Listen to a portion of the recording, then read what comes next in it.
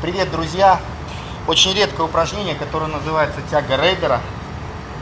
Практически нигде вы не найдете, как правильно его делать. Смысл этого упражнения в том, что оно способствует растягиванию ваших грудных хрящей. Это упражнение очень важно для тех молодых ребят, которые еще находятся в фазе роста. Известно, что наши кости, в общем-то, продолжают расти до 20-25 лет. Соответственно, грудные хрящи, если их растягивать, они будут увеличиваться. То есть будут ваша грудная клетка, именно а, костная основа, она будет увеличиваться.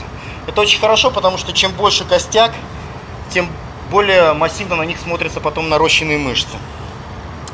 Есть специальные упражнения, дыхательные приседания, различные варианты пуловеров, когда вы делаете интенсивную гипервентиляцию ваших легких, соответственно, грудная клетка у вас расширяется, грудные хрящи как бы выталкиваются наружу. И в этом состоянии чаще всего рекомендуют делать полувер с гантелью, для того, чтобы закрепить, закрепить вот это расхождение, закрепить то состояние, в которое входят хрящи во время подобных упражнений. Одним из вариантов пуловера, только без гантели, является тяга рейдера. Смысл этого упражнения заключается в том, что вы подбираете оптимальную позицию рядом с каким-нибудь углом. В общем-то, это можно делать в квартире.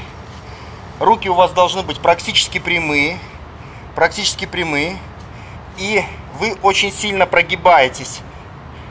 То есть попа у вас оставляется назад, грудь у вас выставляется вперед.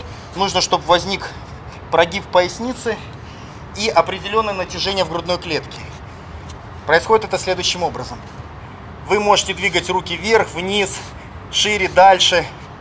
В общем, подберите такую позицию, когда возникнет натяжение. Вот ваше тело, оно как бы висит на вашей грудине.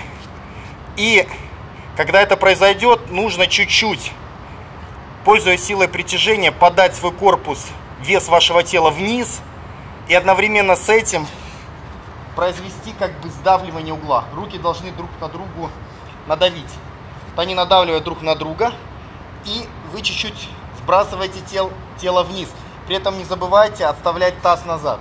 Соответственно, очень часто можно даже услышать отчетливый щелчок вот в этом месте. Если вы делаете регулярно дыхательные приседания, то Часто бывает, вы идете потом домой, а у вас такой, знаете, какой-то дискомфорт, такое ощущение, что кости не на своем месте. Как-то даже, ну не то чтобы тяжело дышать, но чувствуется какое-то такое легкое беспокойство. Вы делаете тягу рейдера, становитесь рядом с углом здания или у себя в квартире, прогибаетесь. Вот. Примерно выглядит это следующим образом. И вот здесь вот чувствуется щелчок. То есть вы как кот подтягиваетесь, подтягиваетесь до того момента, пока не почувствуете, что грудные хрящи стали на место. Если вы в молодом возрасте, то часто даже можно услышать отчетливый щелчок. Во всяком случае, у меня такое много раз было. И после этого, ну вот, то чувство беспокойства, оно пропадало. То есть грудные хрящи как бы становятся на место. И, в общем-то, вы себя чувствуете нормальным человеком.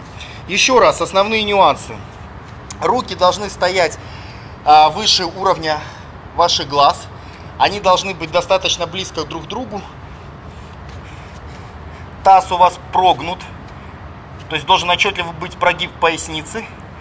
И должно быть натяжение. То есть вы как бы кладете вес своего тела на выпрямленные руки. Старайтесь тело положить на стену. И вот оно натяжение.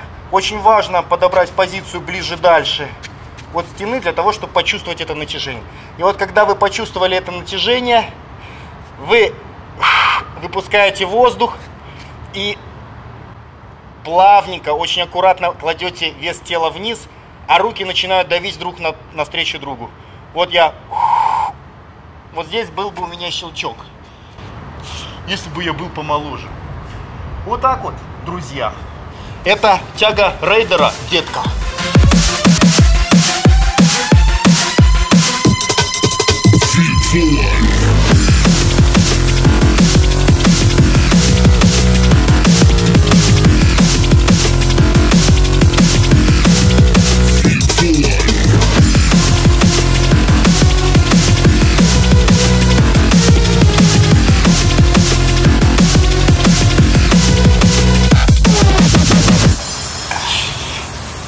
Чувствую, блин,